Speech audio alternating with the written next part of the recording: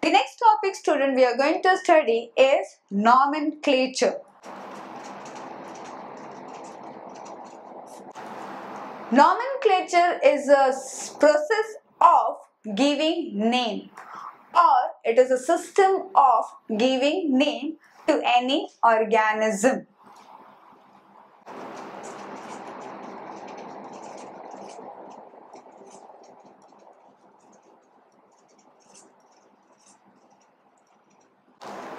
Now, there are two systems in nomenclature.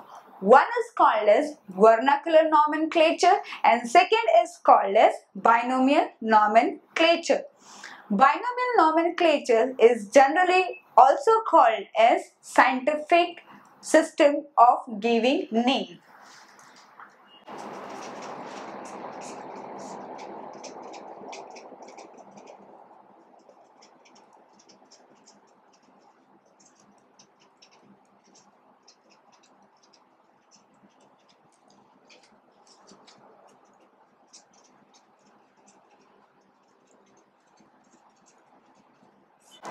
First, we are going to study about vernacular nomenclature. Now, what is vernacular? Vernacular means regional language or local language. So, vernacular nomenclature means the system in which organisms are given name by using local language.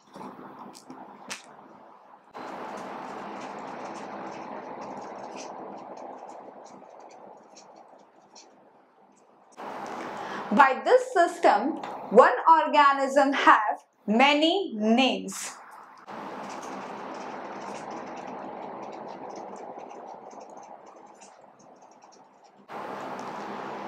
Now student, this system didn't last longer. Why? Because there were many drawbacks, out of which there were two major drawbacks. And the two major drawbacks is first, it is creating confusion. And second, the names are misleading.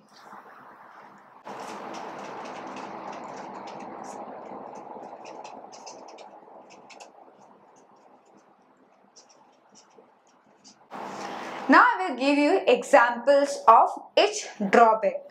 Speaking about confusion, the scientific name of sweet potato is Ipomoea batatas.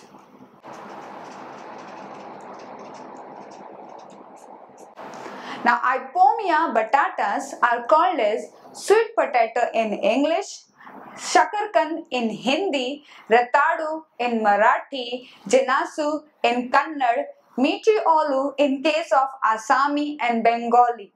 So, when a person from north goes to the east of India and person speaks about Shakarkan, the people get confused about what material they are speaking about. So, this is how it creates confusion.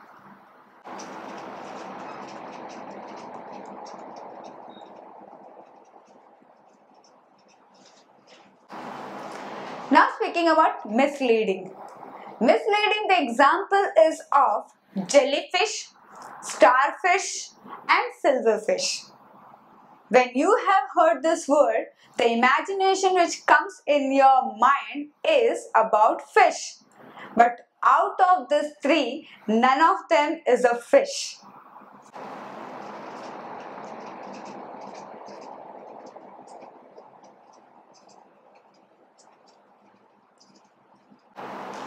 Jellyfish is Cnidaria. Silverfish is an insect. Starfish is Echinodermata. We will study about them in kingdom Animalia. But for now, out of these three, none of them is a fish. Silverfish is found in book when the book is kept in the library for longer time. You must have seen the book page color changes from white to brownish or yellowish. Why it changes from white to yellowish? Because silverfish excrete their waste product which turns this paper from white to yellow. This is about vernacular nomenclature. As this system was not accepted by the people worldwide, there came another system. And the name of that system is binomial nomenclature.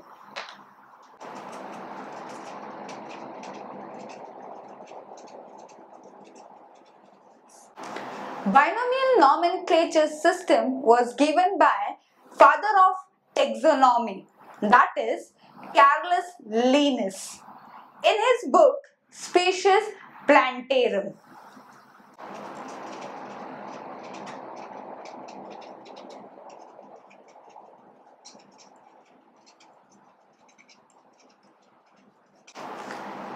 There were certain rules followed in this system which made it easy for everybody to give scientific name to the organism.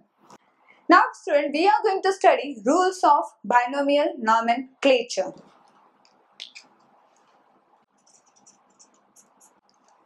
The very first rule is according to the term binomial. What does word binomial means? Bi means two, nomial means name. So according to the rule, each organism should have two names. Rule number two.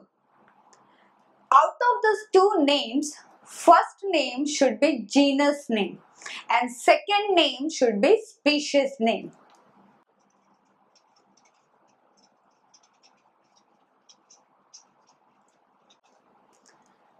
Rule number three, genus name should start with capital alpha, alphabet and species name should start with small alpha, alphabet.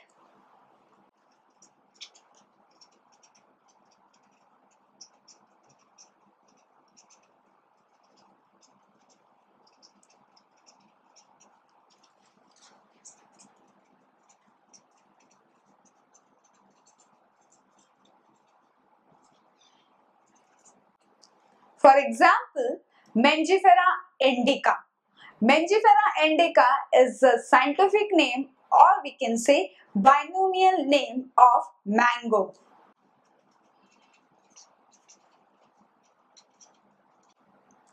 Rule number 4. Whenever binomial names are written, it should be written in italic font. But student, everybody cannot write in italic font. So the rules were modified into two. First, whenever the binomial names are printed, it should be printed in italic font. And whenever it is handwritten, it should be underlined.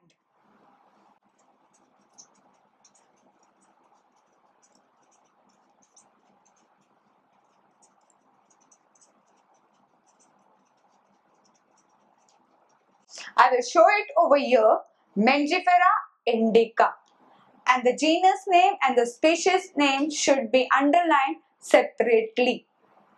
Next rule comes, the name should not have less than 3 alphabets and more than 13 alphabets.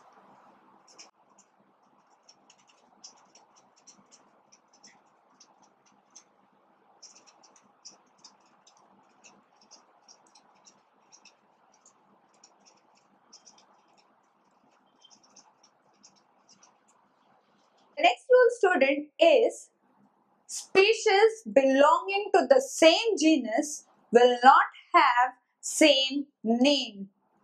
But the species belonging to the different genus may have same name. Again I am repeating species belonging to the same genus cannot have same name. But species belonging to different genus can have same name. For example,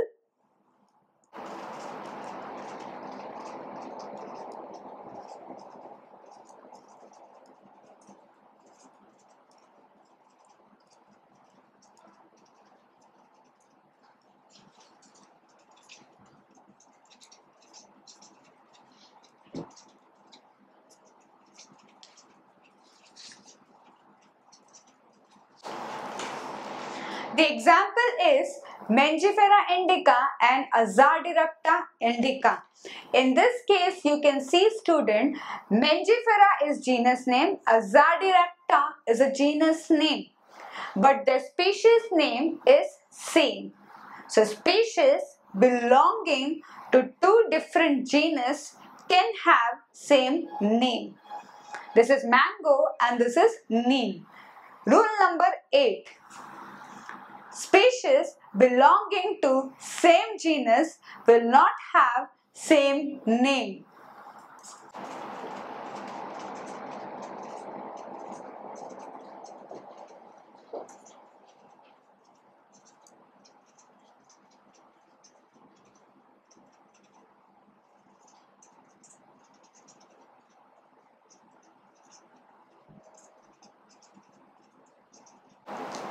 Now over here you can see two examples Panthera tigris and Panthera leo.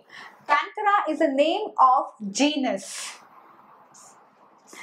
Tigris means tiger and Leo means lion. Tiger and lion belong to the same genus but the species name is different. Rule number 9.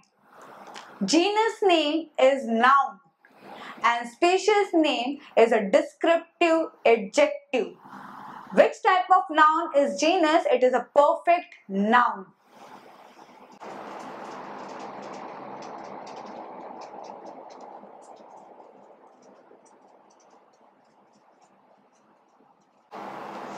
Rule number 10. Whenever any scientist discover any organism and he takes that pain of giving name to that organism then everybody need to respect that scientist. And how we respect that scientist? By the process called as citation now what is citation it's a rule in which writing the binomial name of an organism, at the end, the discoverer name or the person who has given the name should be written.